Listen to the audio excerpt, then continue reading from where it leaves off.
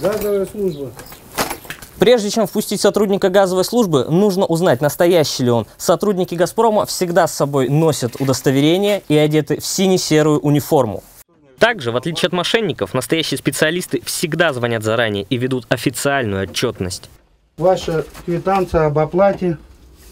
Понятно. Давайте распишемся в нашей карточке. Приходим, обслуживаем котел, газовую плиту, проверяем все на утечке, выписываем акт выполненных работ, предоставляем удостоверение, выдаем памятки, чтобы не ходили мошенники.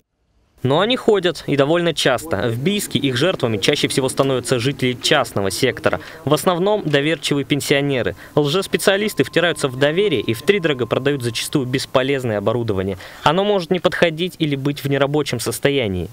Чаще всего людям э, предлагают мошенники вот этот прибор, он называется сигнализатор загазованности, который э, отвечает за безопасность людей при запахе газа. За сертифицированным оборудованием жителям Бийска следует обращаться в официальное подразделение «Газпром» газораспределение Барнаул. Здесь помимо запчастей можно купить плиты и газовые котлы. Точно так же покупаете водогрейку, она у вас работает без электричества. Потому что него пьеза на батарее.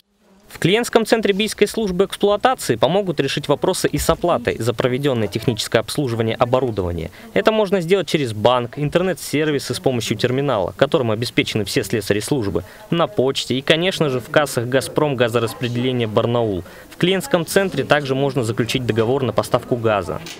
Ваш договор на догазификацию.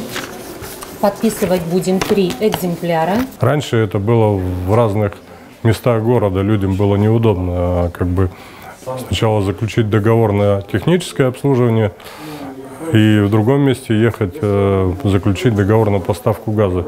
Сейчас все объединено в один клиентский центр.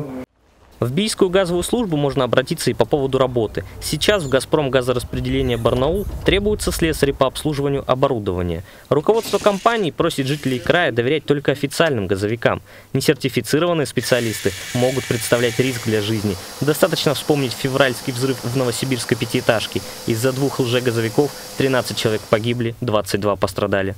Данил Кузнецов, Дмитрий Денисов. День с толком. Нижний.